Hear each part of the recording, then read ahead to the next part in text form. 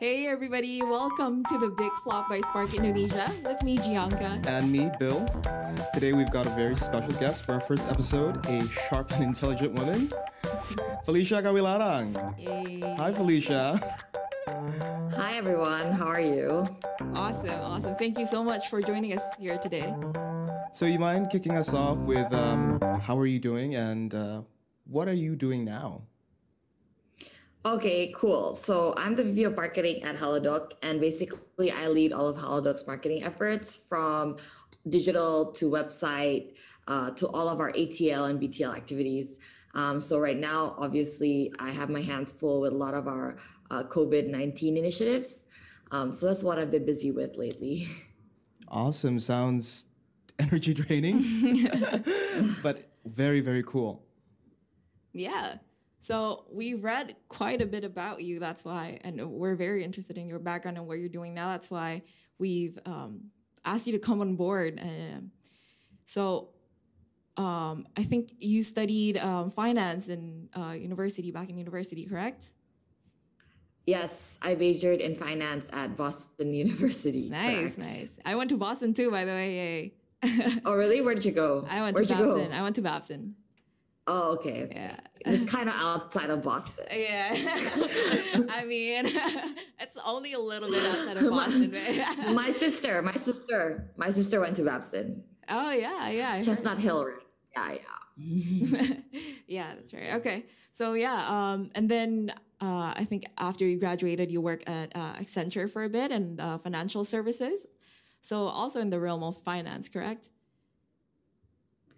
Uh, yeah. So after I graduated uh, BU, I went to uh, consulting Mm-hmm. um, because I, I mean, naturally, that's what you do after you graduated Oh, yeah, uh, from as a finance major. Mhm. Especially like back in my day, I sound really old saying that, um, but we were when we when we majored in finance, we used to do consulting or investment banking. Mhm. I mean, that's what's considered a successful track path, right? So I went into the consulting track and I ended up in Accenture uh, doing consulting for uh, financial services like banks. Yeah. Awesome. Awesome. So, what made you want to switch from um, finance to mar- marketing? And uh, I think you went to Um, VML first before going to Halodoc. And then how did you, you know, finally end up at Halodoc? Just curious to know.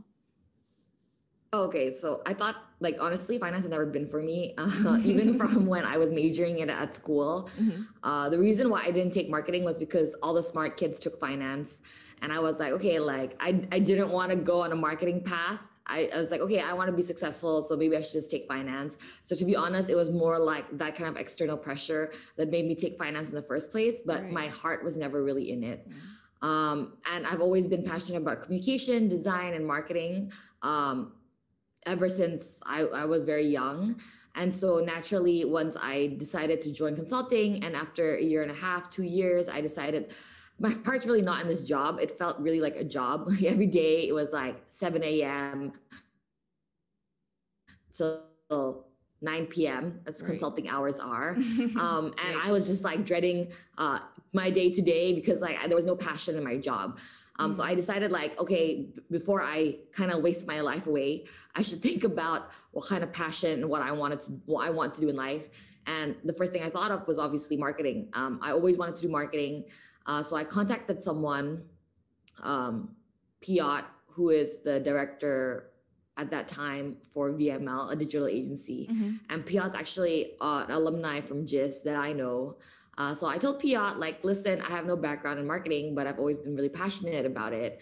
Um, so give me a job. Like, I don't mind starting over as a junior member, uh, but I really want to learn about the ins and outs of digital marketing, uh, what it's like to work in an agency. Um, and luckily, I passed. so I passed the interview uh, with zero marketing background. Um, and I joined the digital agency. I worked on a lot of different brands uh, like Danone.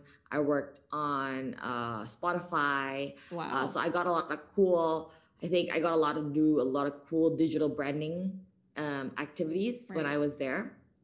Um, but then after a few years went by, I was looking for something that had more of a mission.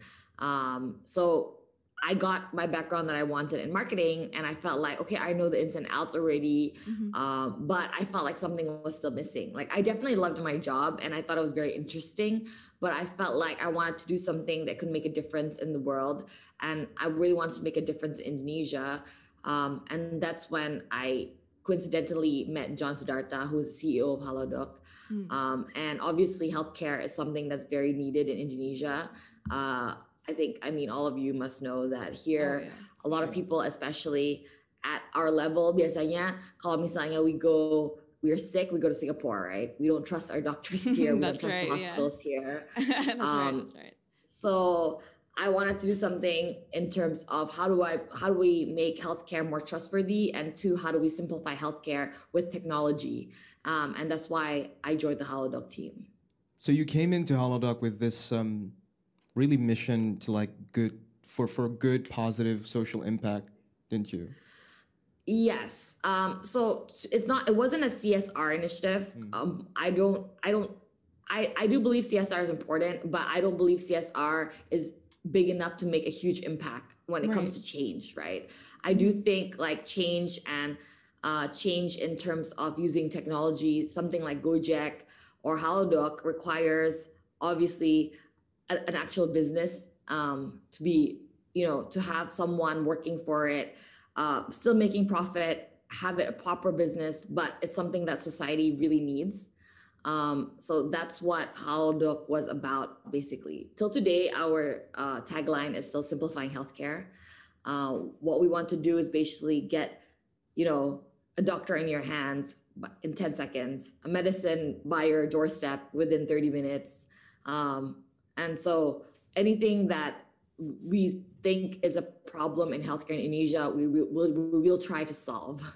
Awesome. So, like listening to your story, everything seems to be very, you know, serendipitous. Your crossover from finance to marketing, and even uh, the crossover from uh, itself is a crossover of, you know, healthcare and digital technology. And for most people, crossovers might not be as smooth as it seems, isn't it? So, uh, could you share with us if there was ever uh, a flop experience that you had? Um, whether it's a failure or a missed opportunity, and how did it happen?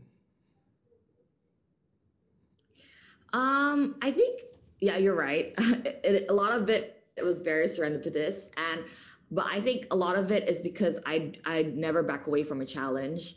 Um, if I want to do something, I jump right ahead and do it, um, and I take on the challenges head on. Uh, so in that sense, I felt like obviously with anything that you do especially when you're new um, there's going to be a lot of challenges like for example when i first started Halodoc uh, one of the biggest challenges was one i had zero idea about healthcare like zero like mm-hmm. I, I, don't even go to the doctor um, I, I i've barely gone to any hospitals in indonesia i get my yearly checkup in singapore um, and i'm like i was like 24 25 when i started Halodoc wow. Uh, and obviously at that age, like even at my age right now, and you're, we don't really get too sick enough to be going to the pharmacy at a very regular basis. Mm-hmm. So like I don't know any medicines, I didn't know any hospitals, doctors, just even the basics, I had no idea, right? So just starting from scratch is difficult, um, especially in an industry like like health, because there's so much to it, right? And there's so many different layers to healthcare that you need to understand, especially when you want to change it for the better. So learning that itself was hard. Two, I was very young. Um, I was appointed the VP of marketing at 24, 25 years old.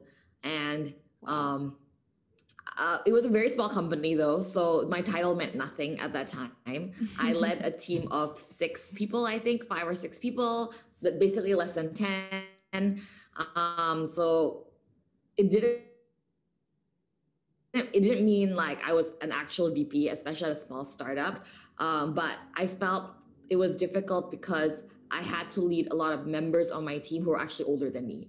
Um, mm. And basically revamp and teach them about digital marketing, right? Uh, so the people that I took over at that time, a lot of them didn't have the background in digital agency, and most of them had background maybe in health Um, so just making them respect me, getting other people to see my point of view um, in a good light, just because of the age gap, is also difficult, I think. But that's something that I still experience today. Uh, I feel. Uh, I think. Um, I guess with the topic of women in tech and just I'm 29 years old right now. Uh, I lead a team of eight, uh, 75 people in marketing. Wow. Um, I work I work with mostly men. Um, under me, there's a lot of women in marketing, but as a peer, there's only one other VP who is a woman. Um, the rest are men. And in industry, especially in the tech industry, I think you're always going to be surrounded by a lot more men. Mm-hmm. Um, that's that in itself is a difficulty to overcome, I guess, uh, because I think you know the point of view will be different, the way people look at you, the way the different respect showed. Um, so that I, I think it's also a challenge. So you talked uh, about you know having uh, working with a lot of men and the industry and uh, the challenges that comes with it. But um, how do you overcome those challenges? How do you gain their respect? Um, I think number one is having self confidence. Mm-hmm. Uh, just because someone at first maybe not doesn't really respect you or kind of look down in your ability, um, it doesn't mean that it's true. And mm-hmm. I think the number one thing you should have is self confidence to overcome that. Like instead of mm-hmm. backing down and being like, okay, maybe I can't do it, maybe he's right, or maybe she's right, or whatever, you should have succumbed to other people's judgment, right? So I think number one is to have that self confidence to overcome that, um, and then prove yourself, right? Um, prove that prove that you're smart enough, work hard enough, so that people know and around you. I think the work itself speaks volumes, right? Um, so to be honest, how I overcame it was, yeah, pede aja.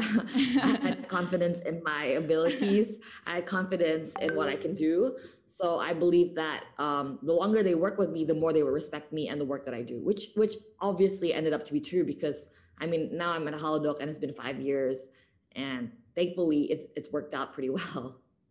That's amazing, and that's actually really great advice. Um, but do you do you think that people actually treat you uh, differently in the workplace uh, as as a female leader um, before you know uh, when you just first started out? Um, well, I think 100% the answer is yes. Mm. Uh, it's unfortunate, but I think especially in Indonesia, um, like workplace kind of like sexual differentiation is still very and i would say sexism is still very much alive oh, yeah.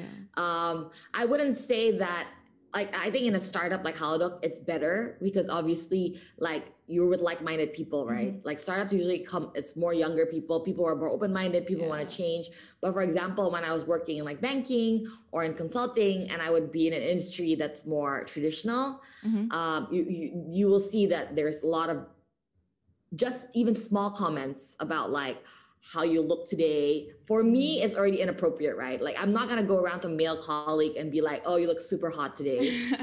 Like yeah, i feel yeah. like that's so inappropriate right?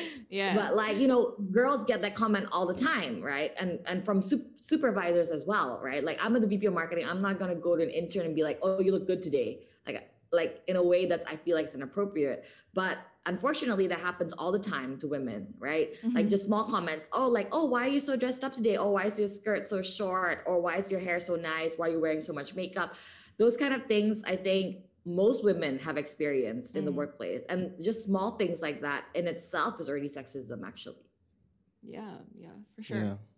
And- you see there's there's also the, all these pre-existing issues in the workplace for women and you know given your high position uh, everything even with the pandemic aside, must be hectic. But with the current conditions right now, with you know new programs, quick turnarounds, how have you transitioned into that, and how did you know um, what to do when something's not going right, and how do you make sure that things can be readjusted, re-strategized? Uh, so, oh yeah, of course, with the pandemic, a lot of things had to change um, especially in the beginning, right? Like last year, I, I think it's exactly one year ago um, when everything had to shut down and we all had to work from home. I think number one thing that's difficult is okay, how do we make sure everyone stays productive, right? Mm. Um, especially if I, I lead such a large team, how do I make sure everyone is doing their job, no one is slacking out? Um, so I think putting that into place in itself is already difficult, like a lot of internal um, just management. And then two, obviously, uh, we were supposed to launch our appointment service last year for hospital appointments, which around this time, April, we had like a press conference ready. Um, and we had everything set up, a roadmap for it. But obviously, because of COVID, we couldn't send people to the hospitals, especially if they didn't have COVID. Because one, the hospitals had to prioritize COVID patients, and two, right. um, it, it was just too dangerous, right? Like we didn't want people to be crowding around the hospital waiting for a doctor if they didn't need to. So we quickly pivoted our appointment service for appointments for COVID 19 testing. Um, so now I don't know if you know, but we have appointments to go to drive through, mm-hmm. uh, both for COVID 19 testing like PCR, rapid antigen, and now for obviously vaccination. So we also have a drive through vaccination site now. Yeah, that's really cool. And I think you're the first to do that here, actually, right? Correct. We were the first to do it for uh, drive through both actually COVID 19 testing and vaccinations in Jakarta. Uh, yeah, that's really, really cool. I'll be honest, I actually once used your service for like a PCR test at home. oh, you did? Yeah. it was convenient. Thank you for your business. so, you know, when we're talking about healthcare and, and, you know, bringing, as you said, you wanted to be able to bring a positive impact for people, even though it's not a CSR mode, but there's always been this debate of like, healthcare always taking advantage of people, healthcare always being so costly. How do you see yourself as a marketer, as a person who's working for a health services company, selling that to people? Um, actually, in Indonesia, there's not there's not too much negative uh, perspective. I think in terms of health, in terms of take health care providers taking money from you.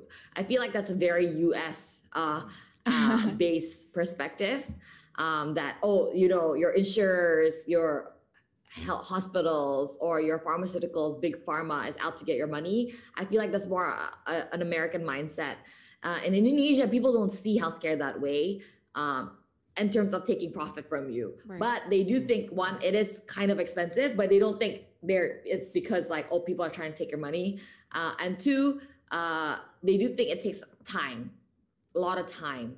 Uh, so I think uh, the number one challenges we face with Indonesians and healthcare is that one, sebenarnya is none of the above. It's not the money, it's not the time. Hmm. Is that Indonesians takut dokter. they don't like doctors.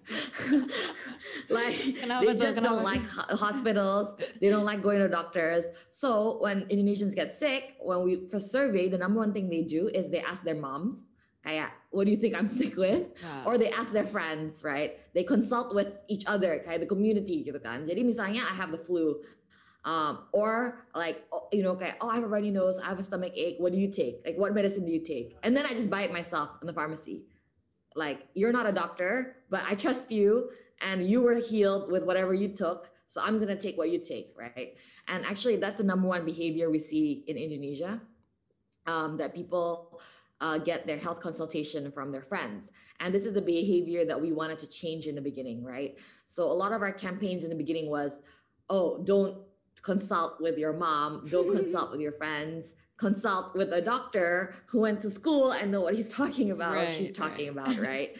um, so a lot of our campaigns when we first started was, oh, trust your doctor, you know, um, we have a doctor right in your hand as well who can be your mom, your friend, uh, except that he's a professional. um, so he probably knows better, right? So so we had to do a lot of awareness campaign around that in the beginning. Yeah. Hmm. Kasihan juga dokter kuliah lama-lama tapi nggak didatengin ya. Go to mom. Usually, yeah. especially if you're not super yeah. sick. People go to doctor after, misalnya after two weeks, you still haven't been healed. Then you start panicking, right? And then you're like, oh my God, like what's wrong with me? Do I have cancer? Do I have this? Do I have this? And then you're like, okay, I need to go see a doctor. But anything usually kind of mild, people don't go to doctor for. Okay. Um, so just to kind of backpedal a little bit, um, you first led like a team of six, you said, and then now it's a team of 75. That's just amazing. Um, how do you think your leadership style has changed from when you were leading a small team versus now leading such a big team? Yeah, I mean, definitely when I was leading a team of six, I had to be part of a team member, right? Mm. Like I couldn't just lead and manage right. um, because obviously uh, this company was still small, there's not enough people. So I was very involved in the day to day just like anything, job and comments on social media, uh, you know, being the jazz in case there's an emergency, posting. Um, I was very involved in like every single creative that we post on Instagram, mm-hmm. right? Like every single one I went through, um, I edited, I commented. So just like all the detailed work, dulu I was very involved. Like every single thing I could be involved in, right?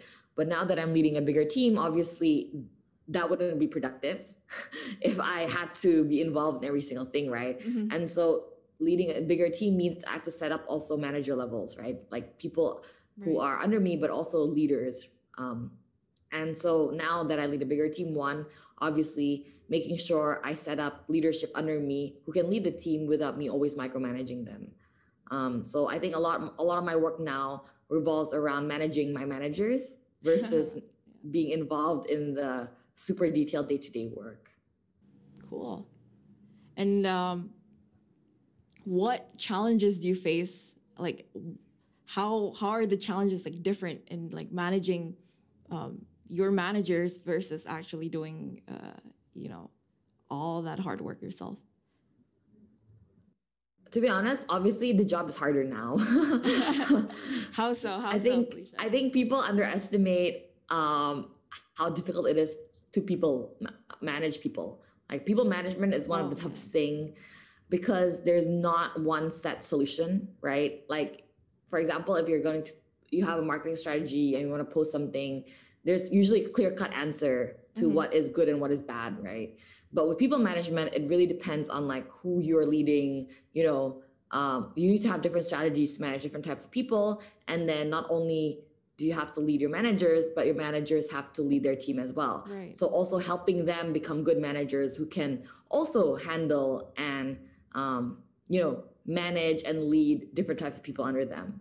Um, so that in itself, I think is quite difficult because there's not one thing you can read, one person you can talk to to basically help solve your problems, right? right Karena problemsnya right. banyak dari okay A nggak suka B, or someone doesn't want to work on this team, or for example, um, there's too much work for one person, there's not enough work for another person. There's all these different issues that arises um, just from managing people on a day-to-day basis. So you really um, set the tone, don't you, for for the uh, however they would run themselves.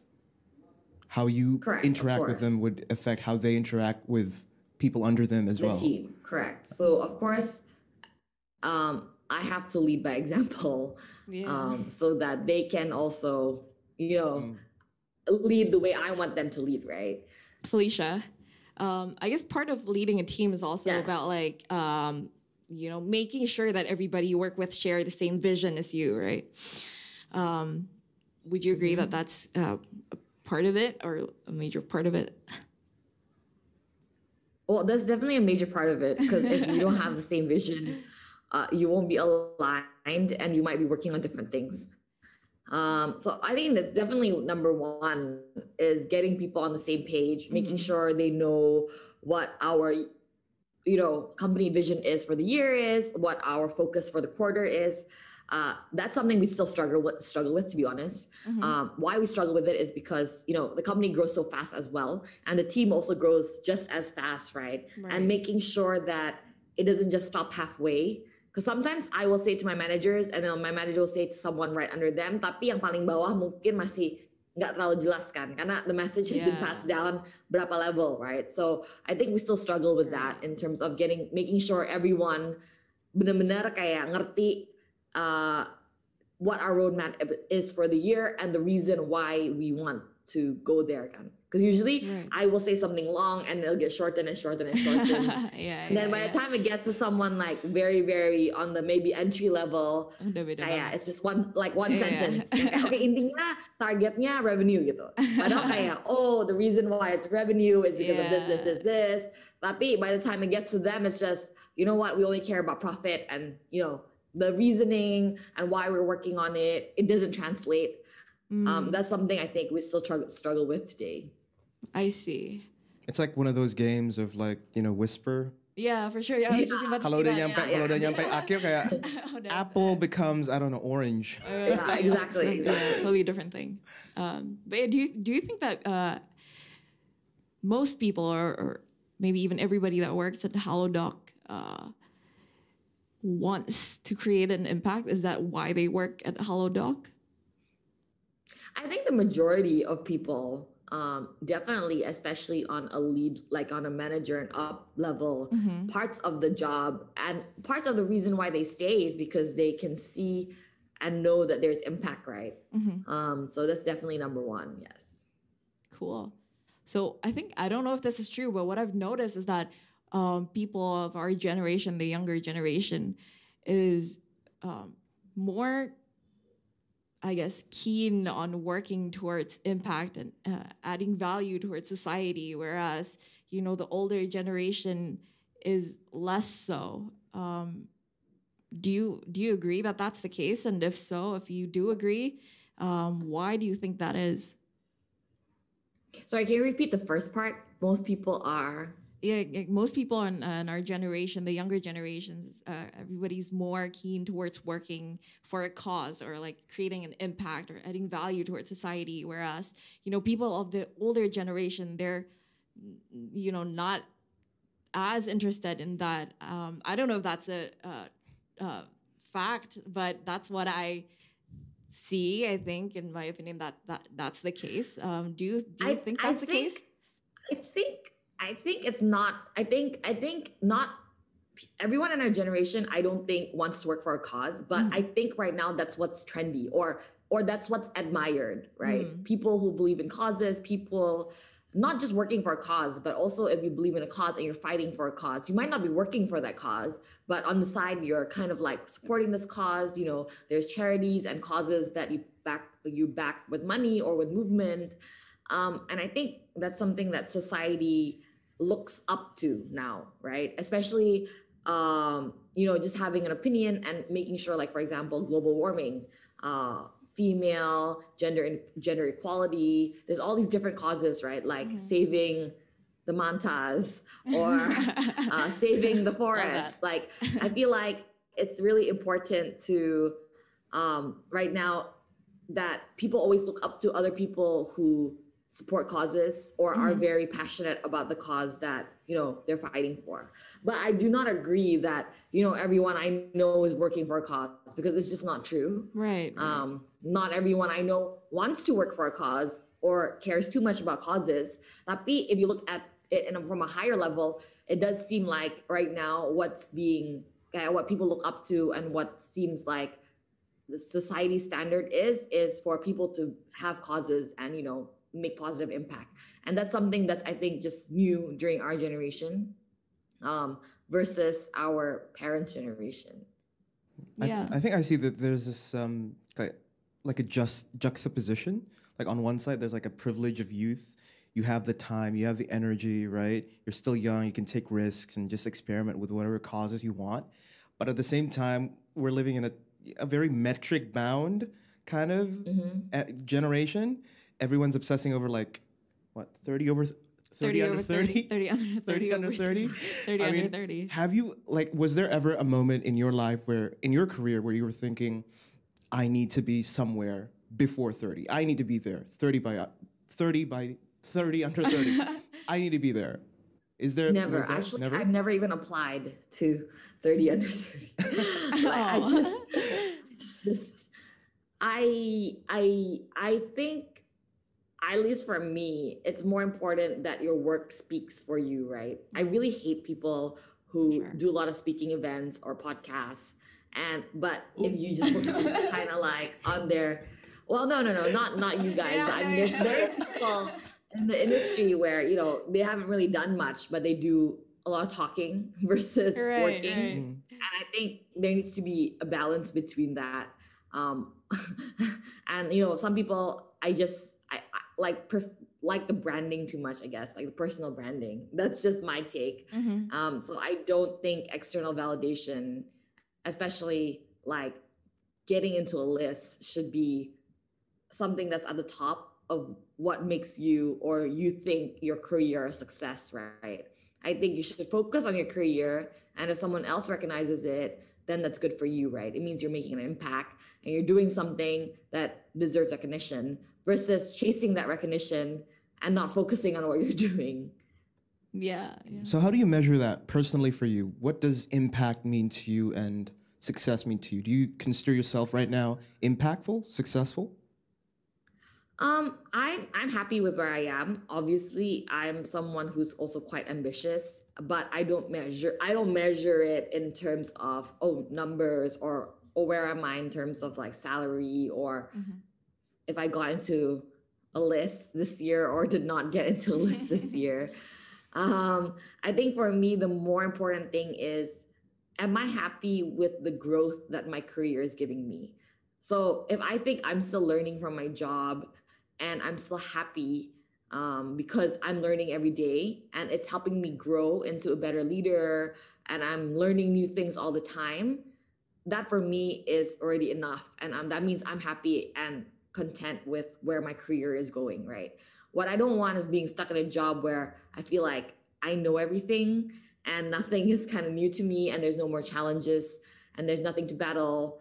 Um, and I think that's why for me it's one, I moved to Halodoc because I think there's impact and two, you know, there's always challenges and there's always new things that we need to be solving all the time, right? We, I mean, we're always trying to innovate for solutions for healthcare. Um, and there's as you know, there's many, many problems in the industry that we need to be solving. So I think right now that's that's how I personally measure um, success, or in terms of happiness in a career. Right, is the impact and the challenges it gives me, and to make sure that I continue to grow. I think that's awesome. I think Yeah. not not putting yourself on on a number. I think that's great. Not I, I don't think a lot of people can do that, right? Because we always we're the most harshest critic we towards ourselves. For yes, sure. a lot yeah. of people say that. Yeah. So, like, if there's one key takeaway uh, to leaders, whether they're in a company, leading a startup, or trying to make a positive change, from what you've said to us, shared to us today, what would be that one t- one takeaway? I think like one takeaway would be try to look for something that, you know, really gives fire like inside you, right? That's something you Hmm. really want to work for. Um, and I think not to be too bothered about external influence.